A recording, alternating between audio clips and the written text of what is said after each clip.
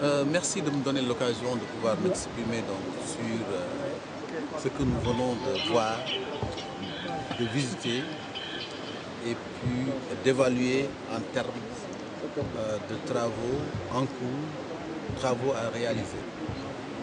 Vous savez, moi je crois qu'il est bon de préciser que le président Macky Sall, élu chef de l'État, il n'y a pas encore un an.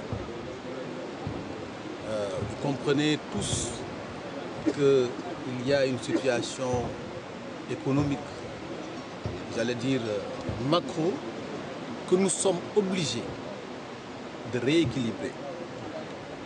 Rééquilibrer euh, les budgets, réajuster les projets. Mais malgré cela, vous êtes d'accord que depuis hier, depuis notre arrivée, nous avons visité les différents chantiers qui sont en cours. Que ce soit au niveau de l'aéroport de Ziguinchor, au niveau de l'aéroport de Cap Skirring, au niveau de la route de euh, Cap Skirring-Djembereng, au niveau du pont de Katakoulous.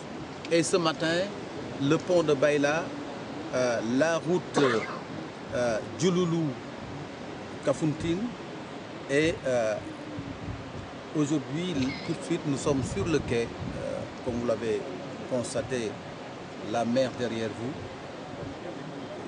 J'ai ici euh, l'honneur d'assurer, Monsieur le Président du Conseil rural, que cette route sera goudronnée. Et le projet est en cours et ce sera sous peu. Il l'a si bien dit, aujourd'hui, euh, nous n'avons que la pêche et le tourisme pour pouvoir développer, euh, j'allais dire, de manière considérable notre pays. Nous en sommes conscients. Le chef de l'État, le président Macky Sall, euh, sur les instructions du Premier ministre, a pris la mesure de cette demande sociale. C'est la raison pour laquelle le gouvernement s'est engagé et résolument à désenclaver la Casamance, qui est une partie intégrante du Sénégal.